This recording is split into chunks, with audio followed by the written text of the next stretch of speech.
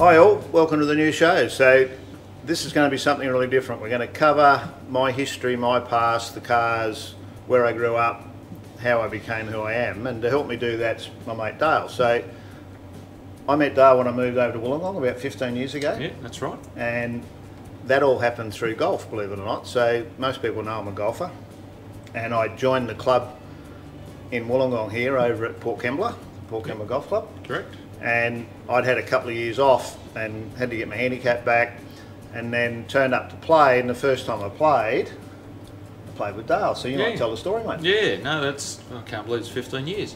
Um, yeah, so we had normally have a regular Saturday crew, and one of the boys pulled out, and the pro came out and said, "Oh, I've got a new new member who's just joined up. Would you mind if he had a game with you?" I said, "Sure." Know, without being too big-headed, we were all um, A-grade golfers, and he said, "No, this guy's a pretty good golfer." Okay, cool. So came out, and we all teed off, and the other couple of boys they were a bit out in front. They, they went off, and so Howard and I were walking up the, the fairway, and we exchanged scorecards. And I looked at the scorecard and I said, "Howard Astill, you're not the Howard Astill from Broken Hill." and you've been hearing that ever since haven't you? Yes, he doesn't let me forget it. no not me it's no. all the other guys Yeah, no, that's true. But I said, "Look, I, look, Howard, I've followed you for a long time." I said, "You've built some hot cars. Pity they've all been Fords, but hey, you know, you, you can't choose everything." But no, we've hit it off um, really well ever since, and I've even worked for Howard for a couple of years there, and uh, yeah, good time. So be be good to go through and tell a bit of a story and, and, and do a bit of backtracking to, to tell what you know where how it all Howard's come from. about yeah so so the idea was to go back and give you an idea about you know where I come from which is Broken Hill but also what makes me who I am how I managed to do the build the cars and all that sort of process and Dale's background not only is golf but it's cars as well so you had a HK HK, yeah, yep, 327 Bathurst. I'll start to cry now. Um, just Yeah. another one of those guys Another one of those guys, yep, yep, yep. yeah. um, had a few EHs and Geminis and you know all sorts of Yeah, did the things. Summernats a few times. Yeah, yeah, went to Summernats. I remember going to the, the second Summernats and seeing the rental car with the chopped out springs and the moon discs and I think it had no springs. I think it had no springs. Yeah, actually, you're probably right. So So we'll be able to tell a few of those yarns, but where I wanted to go, and this will be almost educational for you as well, but right back to the start. So um, almost like an autobiography, I guess, but it's really to give people an understanding about who I am and where I come from and, and how everything evolved. So we've got a bit of a slideshow running here, and we'll get Josh to overlay some of that over to, to make it interesting if you look at our mugs all night. yep, So the idea now is we'll actually go through the process and this will probably run, you know, 15, 20 episodes because believe it or not, I've built 15 cars now.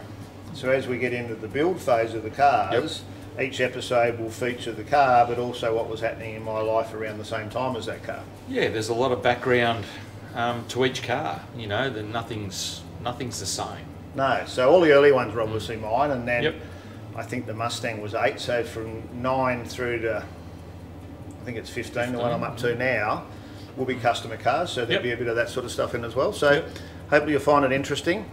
So the first slide I got up, Dale, is uh, my dad on a push bike. Yeah, so I, I wonder where Howard got his competitive spirit, and I didn't have to look too far back to figure that out. So, yeah, it's uh, what do they say? The acorn doesn't fall far from the tree. Something like that. Mm. Actually, I might have to duck out in a minute because the cup that's in that photo I meant to have on, on Yeah. hand to, to be able to sort of parade that. But Yeah.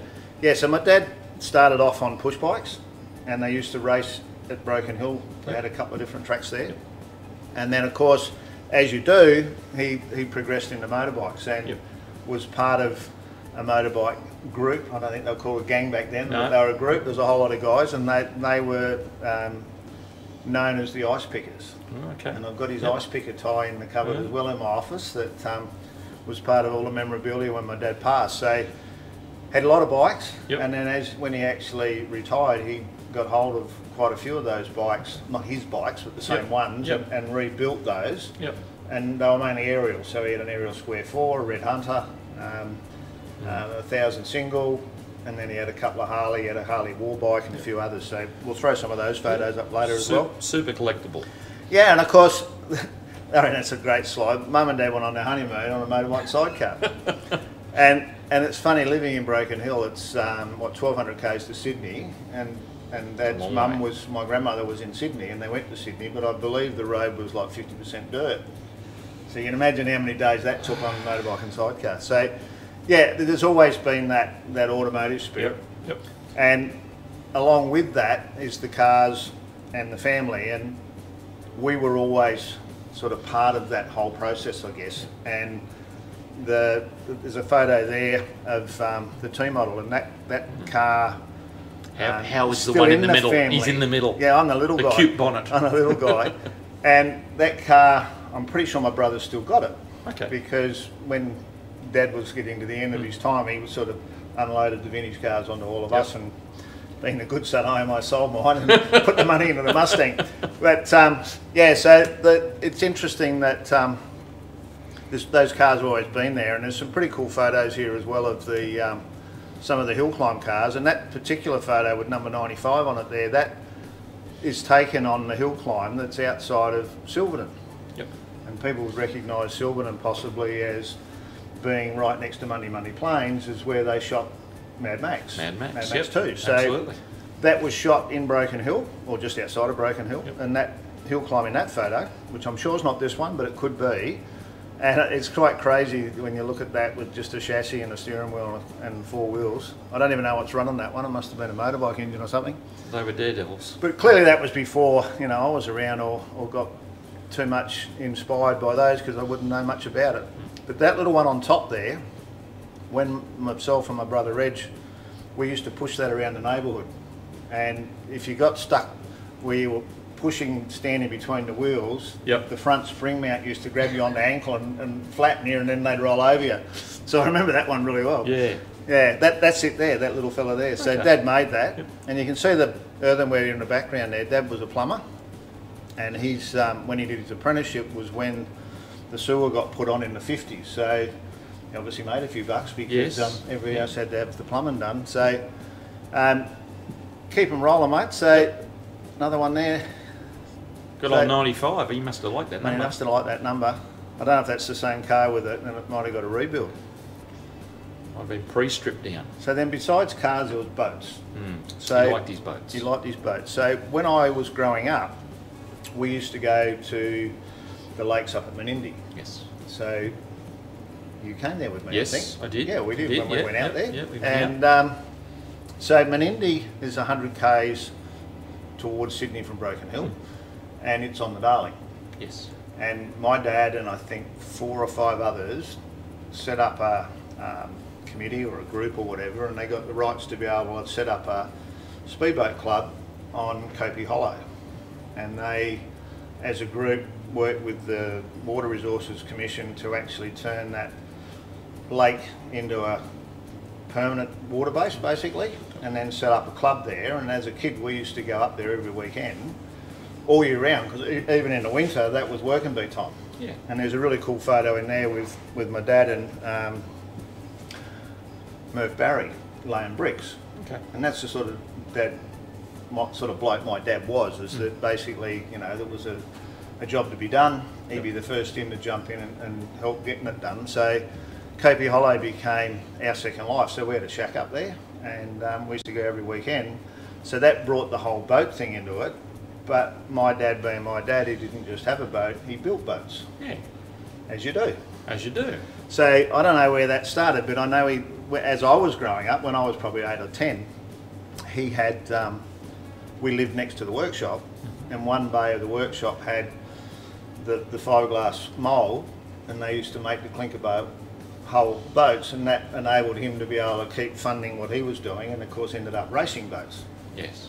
Yeah, so the boats then were the old clinker hull with a bench seat, so you used to do a bit of sliding, you know, in there. And Exactly. um, I've got it. My brother's digging out some photos for me now, and I'll have those ready for when this goes to air to be able to put some of those really cool old boats up. And for whatever reason, Dad early on ran Chryslers, Okay. and I can remember at one point where the Chrysler he had, he actually had bought a manifold that took eight single Strommies. That was high tech in the That day. was pretty high tech back then, mate. So then the big move is he eventually went Chev. Like most people go Chev, when we won't even go there. But, so he ended up with Chevs. So the little photo there, that's me. I don't know who's with me there, sitting on the tube up at Copi by the look of it, and that looks like one of the race boats. So each May they used to have the May races at Copi, and a lot of boats used to come up from Adelaide and Victoria and, and race there, and, and um, that's how Dad ended up getting more and more into it. So the boat there, Elizabeth, so that's the old man there, and my sister Colleen and my brother Reg and myself, and Elizabeth was my mum's name. Yep. So that was um, one of the really early. So that's before the fiberglass one. That looks like an actual timber boat. Yep. And then the next one there is um, my grandfather, Les Radford, was you know crane operator, earth mover, you know Broken Hill You type had, boats. you had to be multi-skilled. Yeah, and Mum was the youngest of eleven, so there was a fair tribe of them. Yeah. So once again, you know, if you went out and seen um, Grandma, there was trucks and trains Yes. and Lots- lots of toys to play all with, things yep. mechanical. Yep. So the next photo there now is um, one of the big cars. We always had, you know, big dogs, Phoenixes, and um, later on LTDs and all sorts of wonderful and Mm. beautiful cars, and that obviously had an influence Mm. over what we do, and, and you know. The Astills. Astills didn't like to be just, you know, run of the mill. We'll stick with the standard thing. We went, you know, something a bit of Got style, to get it out there, mate. bit of substance. You gotta get it out there. Yeah, that's You good. get it out that's there. good. So that's the house that was next door. So that was in Jabez Street in Broken Hill, and next door to that was the workshop. So Dad bought the workshop that had a lot of land, and he subdivided it, Yep. and, and he built a house, made a buck, sold that, built this house that we lived in for quite some time, and then the workshop was next door, and then eventually sold that house, but always had the workshop and. You'll see later on in, in some of the other videos as we get into the panel van and stuff where there was a hoist out the front, outside, and that's where I used to work on the car and cars and all that sort of stuff. So it was pretty lucky in that way. And I Hmm. Yeah. mean, because Dad was a plumber, tank maker, there was guillotines and rollers and Yep. We've still got a few of his tools here. I actually remember reconditioning a couple of the things here for. Yeah, he had a lot of good stuff. Yeah. And um, yeah, it's every day I'll I'll pick up a hammer or something and you know something that reminds you of Dad and Yep. how it went. So that's a cool one, mate. Uh, you know, middle class Australia, I guess. Yes, like I said, always stylish. The Astills. Looks like we're heading always out. well, well dressed. Mum's got the gloves on. Yeah. Reg and I got our um, jackets. Yep. Even my sister's got her gloves on. So, yeah, I mean, Broken Hill was an amazing place in the sense that there was a lot of wealth there from the mining industry, hmm and that reflected in the buildings, you know, the music, the, Yep. the, the buildings that the council built, and all those sorts of things in the turn of the century. You know, way before we come along. Yep. But then, you know, in the fifties, and then. Um, I, don't, I, was, I was only thinking about this the other day. I, I'm, I'm not a church goer, but it's not that I'm not religious. You know, my mum was very religious, and, and she found, you know, the church later in life when she was sort of in the 70s. But I do remember going to Sunday school as Yep. we did, Yep. and all Yep. that sort of stuff. Yeah, so a lot of a lot of Aussie kids did that for sure. yeah, so we did all that, but then on the, the the other turn of the side of that is there's a photo there of the old Val, Valiant Ute with the 64 with me on the back. We used to go up the bush and shoot a few ducks and catch a The, few the holiday home. Yeah, Yeah. yeah. So that didn't mind a beer as well to go with it. So there he is, laying a brick. So, So- you said he was a plumber. He is a plumber. He Well, does like everything. me, mate. He does everything. There's not much us Astills don't do, mate. Uh, Self-taught, see? Yeah. So Can't be that Th- hard. that was that was funny like that in the sense that I worked for my dad for 20 odd years um, in the family business, and we did a lot of all sorts of things. He still had the plumbers running, and, and we were moteliers primarily.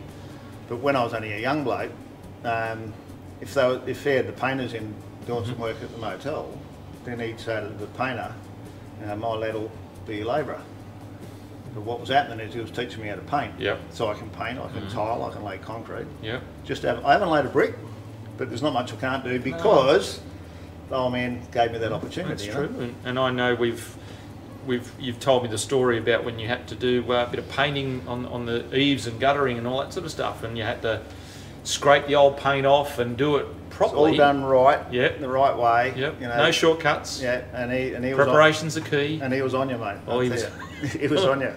Yeah, he's a Yeah. hard taskmaster, and I, and I mean, there was a lot of times where you sort of go, "Oh, he's a pain in the ass, you know. But that was all about You still remember how, don't you? teaching you how to do it, mate. That's, right. right. So, mate, moving off the old man a bit, there's a there's a cool photo. So, put the little square around my head in the middle there. So, um, It's an advertisement position. why we why we wear helmets when we're racing for aerodynamics. So, yeah, North Broken Hill Public School, mate. yeah. Yeah. So, had It was a big joint. there. You had more than one school at Broken Hill. Broken Hill at that time probably had thirty thousand people. Yeah, a and Hmm. big town. it's down to It was a city, it wasn't a town. Yeah, it was the second city in New South Wales, I think. Mm. Yeah, so it was a city in 1920 or something like that. Yep. So um, cream rises the top, mate. Didn't quite get to the top. all the way. Perfect, perfect prefect, maybe. Yeah, yeah. I think I might have even been vice captain by memory, but um, Captain of Vice. Yeah. yeah. Got the wing nuts going. Yeah. Yeah. Oh, you're smiling there, That's. Howard. That's Yeah, something that- different. That's, something good. different. People said he didn't smile, but it's true. He does. So there you go, mate. There's a nice, nice um, professional photo. Very professional, Howard. Always stuck my hand up, mate. I was prefect at, um, at North School, and I ended up a prefect at, at Borden School, and ended up down there again. But I always work on the basis if you if you somehow or other at the top, you've got some way of controlling your own destiny, I Mm. guess. Yep. Uh, it's easier to give orders than it is to take them sometimes, but For some. for some. So that's a cool, one, mate. That was um, senior boy champion, mate. Swimming. So I was a swimmer. Mm. Yeah. So that was a um, you know the every morning get out of bed, drag yourself down the pool. The Ian Thorpe of uh, Broken Hill. Well, No, didn't quite No, have the didn't feet. quite get there didn't with quite the feet, have the feet. Yeah, yeah. Didn't Need a bigger finish feet. that off. And a soccer player. And captain, no less, I believe. That's why you're holding the ball. Well, I think the captain gets the ball, doesn't he? Oh well, he's- he's usually in charge, Yeah. so that's good. So the disappointing part was, as I've already mentioned, I went to boarding school. So when I finished primary, I went to boarding school. They didn't play soccer at the college, No. so I had to play Aussie rules then. So that was a bit tough because I hadn't been tackled before. I was a bit soft, mate. Did- I was a bit soft. What's going on it there? That, and it was Aussie rules. It wasn't a hard game. It wasn't NRL. It was Aussie rules. But anyhow, we, we adapted. Yep. We adapted. I think when I first got down there, I was a rover because I was a little fella. And then by the time I got to third or fourth year, I was um, playing full back. So I must have put a few inches on my Yeah. Must have grown a bit. Couple of couple of inches and a couple of kilos, I reckon. Yeah. So, um, and then he graduated from AFL to doing a bit of sculling, so to speak, bit of yeah, rowing. Bit of rowing, mate. Rowing. in the eight, mate. So, Yeah. yeah. when I went down there at um, in Adelaide, I went to school, Scotch Mm-hmm. College, and um, we used to row on the Torrens. Okay. And the value of that was you had to get the bus into town and then do your rowing training and then Yep. get a trip home. So when you lived at the school, it was pretty good to get out. But yeah. I actually loved that. If I if I lived in Adelaide, I probably would have kept rowing because it's it's one of the most satisfying things I've ever done in the sense that it's a, obviously a team sport because there's Yep, 80, 80 of yous in the boat. Yep. But looking at the photo there, if, if someone in there gets a bit behind or a bit slack, you end up with an oar in the middle. And I actually loved the sport. Mm. Um, really, really love the sport. And the fact that I've moved back to Broken Hill, there's no water, no rowing, so Bit dry. I took up squash, I think. So Squash. I couldn't see you playing squash. Golf, yes. I, I get yeah, the no, I found golf really, really late. Yeah. Actually, I was Okay. 40 before I played golf. okay. But I was. Um, You yeah, just I- had to do something competitive, so that's understandable. Yeah, yeah. I played. I played pretty good squash for a few years there. Um, well, we've gone backwards now, but that's all right. So there's a photo there of three boys with the long hair. Looks like they're Must a be rock the group. se- must be the seventies. Looks like they're out of a rock group. So that's a couple of the boys out of the, the dormitory that year. So Tim Howard and, and um, oh, the name escapes me. The other boys, but yeah. So that's the college. Yep. Um, This is the footage you take before you had a drone. Yeah, so I, I, was, I looked at that photo because it was in an old album I dragged out, and I took a photo, you know, the photo of the Yep. photo to get it. And um, so yeah, so that picture's taken from the pine tree. As in up the pine tree. Yeah, so me and a mate climbed up the tree, No thanks. which is I don't know how high. It must be bloody hundred foot or something. It's bloody high. It was high, and then took the photo of the college on the way back. So, Yeah. and there's some more of the boys. So, when when we um, each year when you went through, so the first year I was at I went down. So just another story, I guess. But my brother went down to Scotch 1st mm-hmm. and I've told most people now, and I'm sure my brother knows this, everyone will know now anyhow, but we're both dyslexic, and that runs in the family. Mm-hmm. So it's it's basically a they don't even call it a learning difficulty anymore, but effectively you normally got really good hand skills, so you make good tradespeople and all that Yep. sort of stuff. Really good with numbers, mm-hmm. not so good with spelling. Yep. So for me, English was always difficult and never really did very well at it. And back in the 70s, early 70s, there wasn't a lot known about it. So No. when it was diagnosed, my brother basically went to boarding school to help the Yep. learning process with Yep. to make sure that you know we could add up and spell and do those sorts of Yep. things. So when my brother went, I said, "Well, what about me? Can I go too?" Yeah. Not knowing what I was getting myself No, into, probably. no. But so You didn't talk to Reg, obviously. Yeah. so that was um, first year high school. Mm. So 13, packed up on the DC3, mate, from Broken Hill to Adelaide. That's the fly down and um, a couple of big suitcases and take your stuff down. So the first year I was there, um, we were in a separate, for the, the newbies, sort of kept away from the rest. You know, you, all their movies you see, the old English movies in Yes. boarding schools. Yeah, Yep, well, that's yep, pretty right. yep. That's about how it goes. So the first year, the dormitory I was in was about six or eight blokes, or kids. Mm-hmm. And then the second year, um, we moved up to the main college, which was what that picture was. Yeah, okay. And there was 18 in that room. And as you know, I'm a pretty good snorer. so that was a difficult time because um, you know is. people never held back. You know, we're all just young fellas all living together, and and the thing was because we boarded, we went to school there, but we lived there, so you spent the weekend there, and you all ate meals together there, the whole Yeah. thing. So I could tell hours and hours of stories about college life. But so the photo we've got there now is I think the third or fourth year I was there, whereby you then got your own little cubicle, and it was basically uh, the length of a single bed and uh, roughly the width of a single bed. A dog box. A dog Yeah, box. Not much bigger. Yeah, and you had three drawers, one door, Yep. and a desk to do your homework at. And as you can see in the photo, the Pink Floyd pictures, that's where the Pink Floyd started from. And I had a little mini record player that I used to play my Pink Floyd on. So He still plays his Pink Floyd. Still love Pink Floyd. I've been listening to the same stuff. Uh, blows me away. Yep. Yeah. So that was boarding school life, I guess. Yep. And and then when I'd come home for school holidays, I then used to work for Dad. Hmm. So whether it was at the plumber, and at that point in time, um, he'd started building a motel. So we're either building motel rooms or whatever. So yeah, pretty full life. Yep.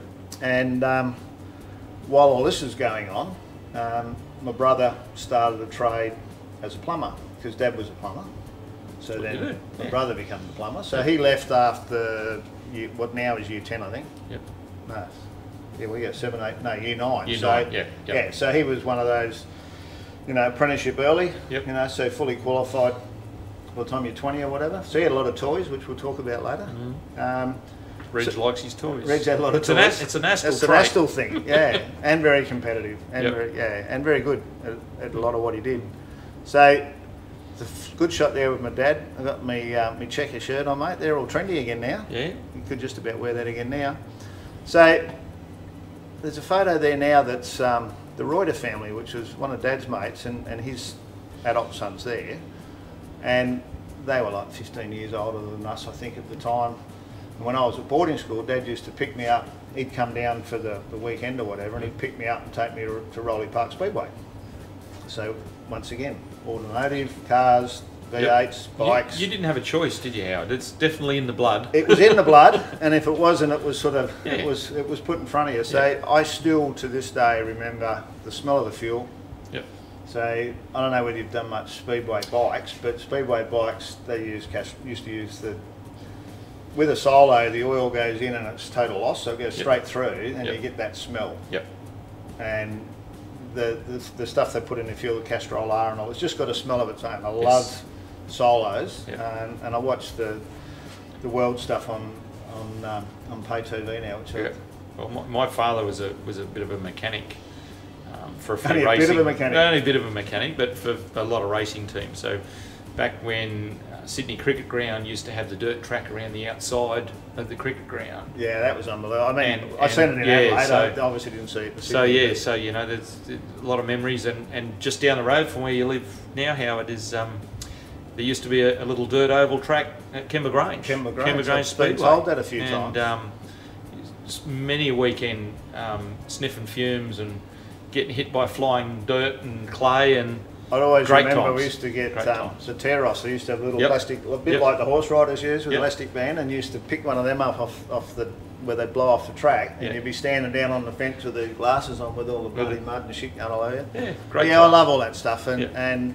my brother ended up racing speedway, and one of those guys there, Gary um, Gary Reuter, he ended up being the general manager of ROH, Oh, the wheel the wheels, yeah. And he was a very good speedway racer, um, very knowledgeable Mm. on the tune-up, in the suspension setup and all that, which he helped my brother a lot with. Yeah.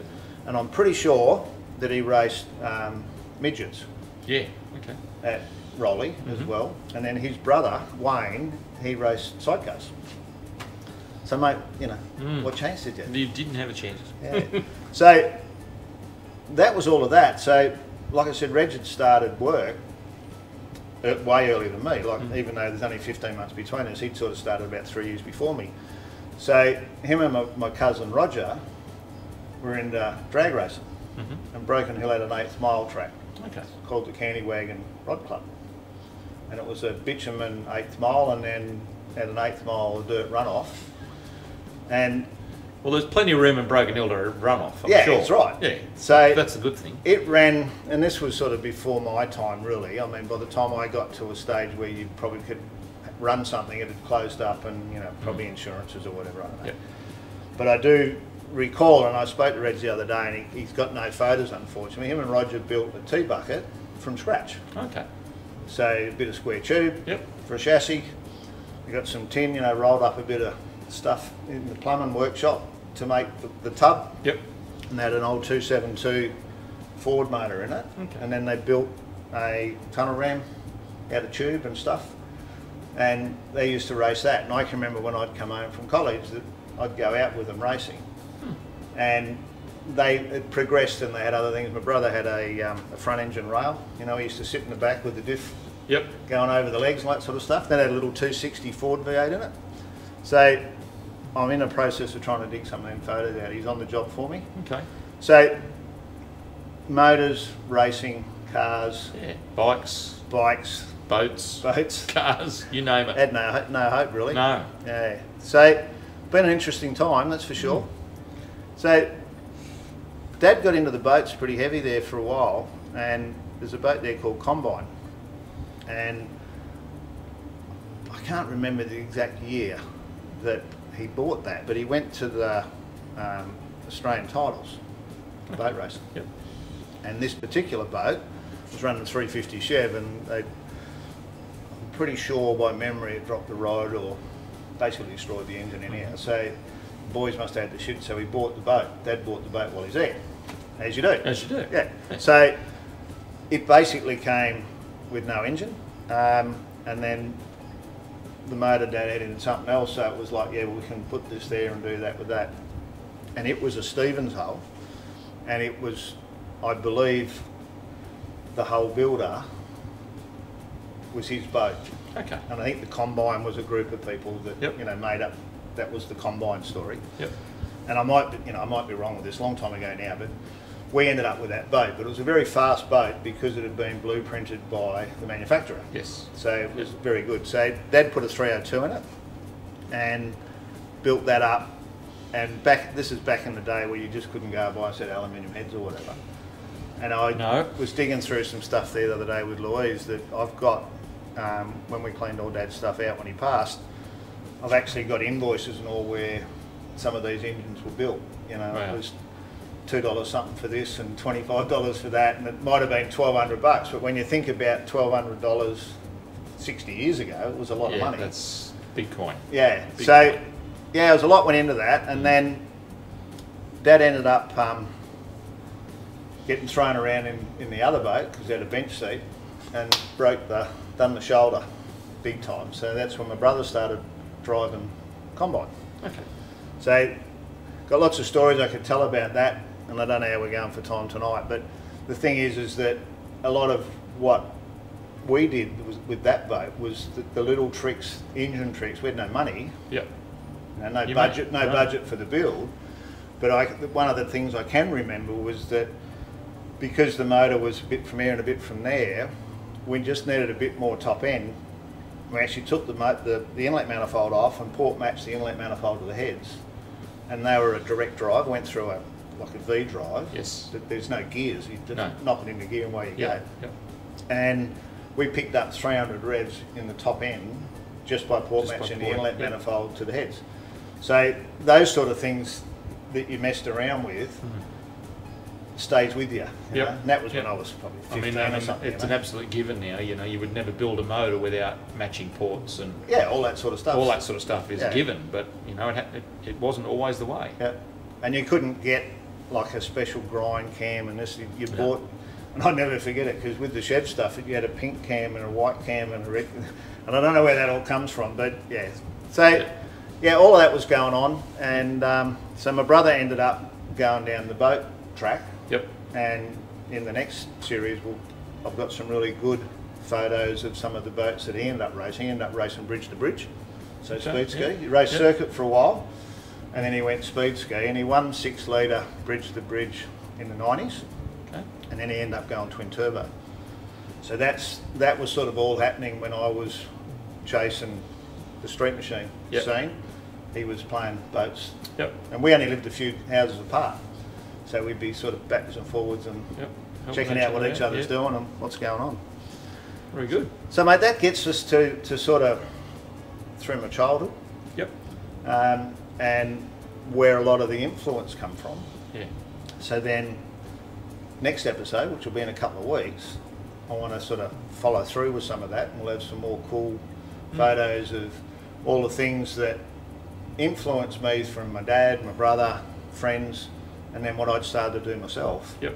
Because I had a little stint with motorbikes.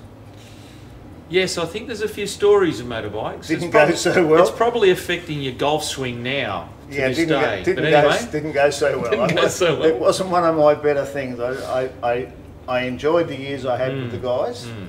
but I wasn't real good at it. So I give that No. away and got into the panel. yeah, stay tuned Stay for tuned. the next one.